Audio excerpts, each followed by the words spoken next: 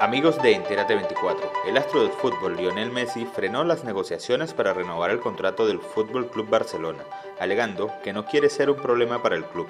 La razón aparente, según algunos medios, es que el futbolista tiene supuestos enfrentamientos con compañeros y dirigentes, además de no estar de acuerdo que lo hagan responsable de decisiones de las que él no es responsable.